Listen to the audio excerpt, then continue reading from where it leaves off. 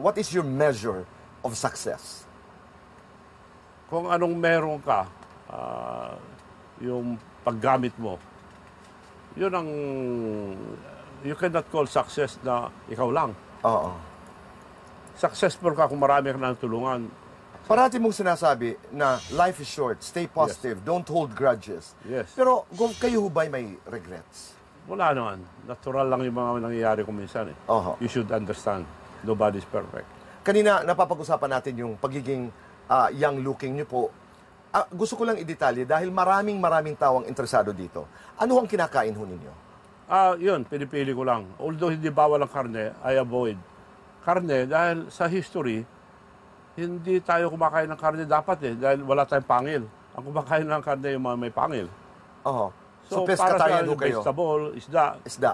So yun lang sinusundan ko. Okay. Hindi bawal, pero ay, ina-avoid ko ang karne. May kinalaman ho ba dito yung sinasabi nyo na nagpa-stem cell po kayo sa Japan some Hmm. years ago? Ah, nakatulong din. Siguro yung stem cell ko sa Japan.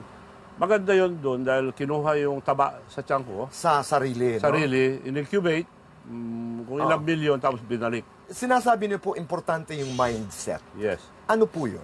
Importante yung attitude, pananaw, lahat yan.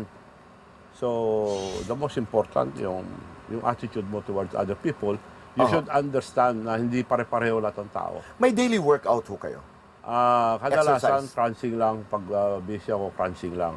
Aha. And treadmill. Regimen po. Meron kayong mga gamit? Kumbaga, pampagwapo na regimen? Wala naman. Araw-araw ko lang ginagawa dyan. Gamot sa buhok. Okay. Pero nag, ah, pagka almost every night, nag, na, pag binamasahe ko, may lotion or oil. Pero mahilig ko kayo sa masahe. Yes. Yung tulog ho, ah, Gov, how much sleep do you get every day? Ah, three, four. Swerte na ako makatulog ako ng six hours. Kaya kung minsan marami ko inisip, nag-sleeping pills na ako. Sabi nila, hindi ka tumatanda pag aktibo ka sa sex. Totoo. Hmm, hirap. Ah, sagutin naman yung tanong mo yan.